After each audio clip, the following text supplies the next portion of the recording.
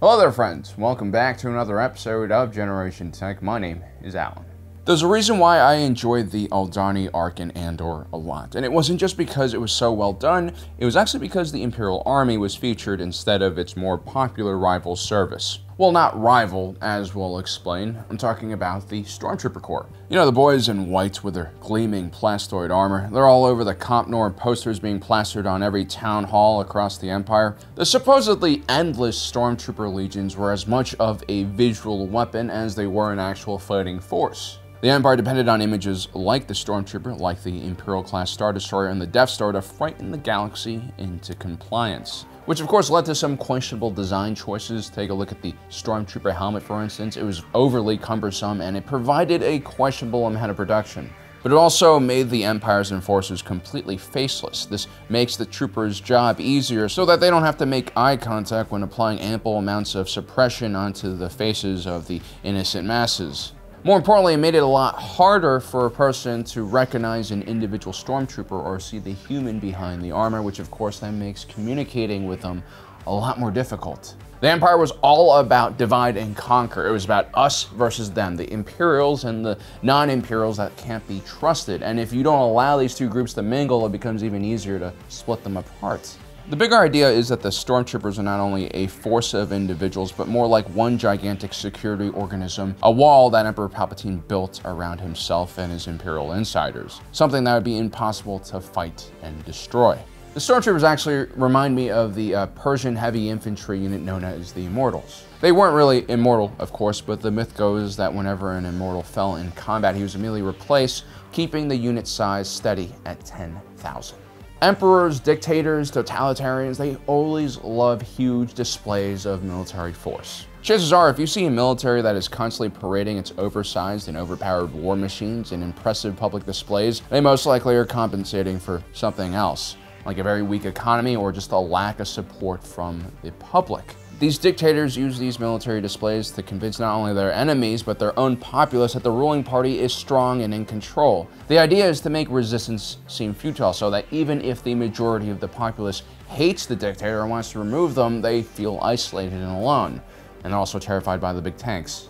For obvious reasons, a lot of Star Wars shows seem to rely heavily on the use of stormtroopers. Most of these creators are what I would call Rebel or New Republic sympathizers. They wanted to use the stormtroopers because it dehumanizes the Empire and provides an iconic symbol for the rebellion to rally against. But was all this hype for the Stormtrooper Corps warranted? Were they actually that important to the Empire's survival and success? I would argue no. You see, the Stormtrooper Corps were the direct descendants of the Grand Army of the Republic. This massive force of clones first popularized the white gleaming plastoid armor look and was seen in a very favorable light by the core regions of the galaxy. After all, the clones had fought off the separatist threat despite being outnumbered many times over, and tales of their courage and sacrifice during the Clone Wars were spread all across the galaxy by Compor, the Republic's version of COMPNOR. Palpatine was looking to capitalize on the popularity of these white-clad soldiers when he created the Stormtrooper Legions. But the main reason that he even shifted from the clone troopers to conscripts and volunteers was for cost-saving reasons, of course. The reality is when you're no longer involved in a galactic-wide war on several different fronts, maintaining such a massive and heavily armed military force of elite soldiers is just completely impractical and costly.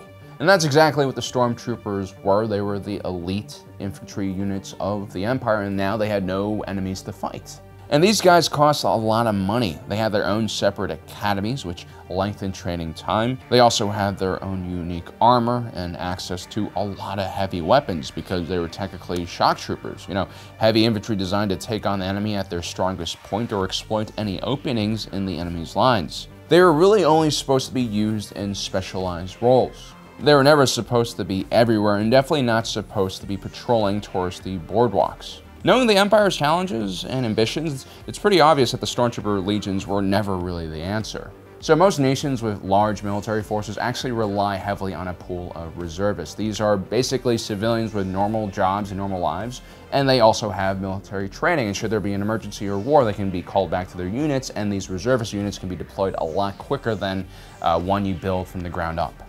And that's sort of how the Empire was structured as well. While they weren't considered reservists, the majority of the Empire's manpower and infantry fighting power came from two groups, the Imperial Army Trooper and the Imperial Naval Trooper. These two types of infantry units were a lot cheaper to train and maintain, and therefore they fit the role of peacekeeper a lot better. Also, the average Imperial was a lot more likely to run into these guys than a Stormtrooper. Technically speaking, the Stormtrooper Corps wasn't even its own service branch. It fell underneath the Imperial Army's umbrella, and legions were usually deployed on Imperial naval assets like Star Destroyers with the support of Imperial Army walkers. By the way, guys, if you want to see a more accurate depiction of stormtroopers and their relation to the Imperial Army and Navy, check out any like Timothy Zahn book with Thrawn and his early years in the Empire. They do a great job at showing how all of this works, basically. That's actually how I became a huge fan of the Imperial Army. They just sounded like a more realistic military force. One built for the actual mission of the Empire, which was to hold as much territory as humanly possible. And while their design is a lot less striking, it's a lot more practical. For one, they aren't wearing all white, which is already a step in the right direction. Their armor is also much less robust and only protects the most vital parts of the body, making it much cheaper to equip them, more importantly, giving them a bit more mobility and less weight to carry. There's always kind of this trade-off between how fast you can run and how long you can run and how much protection you have on your body. And if we take a look at the interactions between the Imperial Army troopers, we can see that they're all pretty normal individuals, normal guys doing a job. Now, you might have one or two overly political and zealous Imperial officers. Your Empire needs you! Troopers forward! Solo, get up! We're almost there! Just over that last ridge! Victory is... But they always get fragged trying to be heroes on the battlefield. That or their own men turn against them when they go a little bit too buck wild.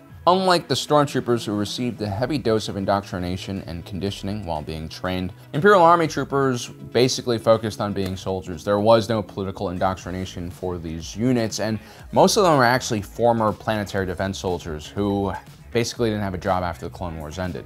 Being able to fight in the system that you were born in is an added bonus, something that you might not get with a Stormtrooper Legion who was basically being shifted around constantly to different hotspots. The Empire might use prison slave labor, nationalized resources, and other credit-saving measures to reduce the cost of their military, but one entirely unavoidable cost for them was the salary they had to pay to each one of their soldiers. And just like in the old Roman Empire, wherever the legion's payroll was stationed, that's where the garrison would be deployed, and that's where the towns would eventually spring up around those areas because there was a troop presence keeping the area pacified.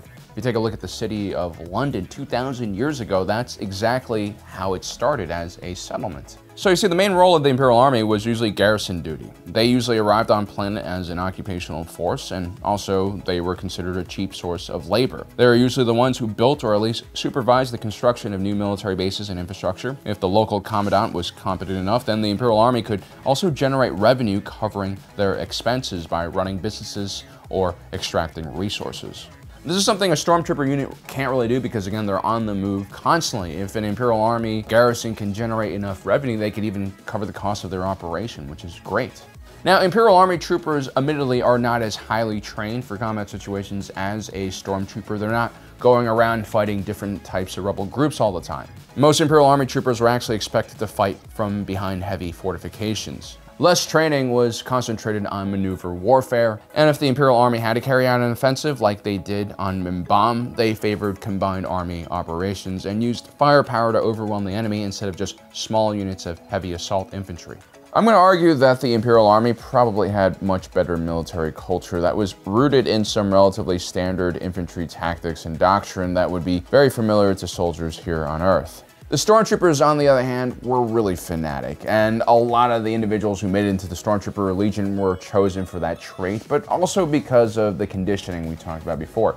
And worse yet, they weren't loyal to the Empire, they were loyal directly to Emperor Palpatine, so that's a problem. As a result, you have these commissar-style officers who are more interested in delivering glory for their god emperor than actually protecting their men and completing missions.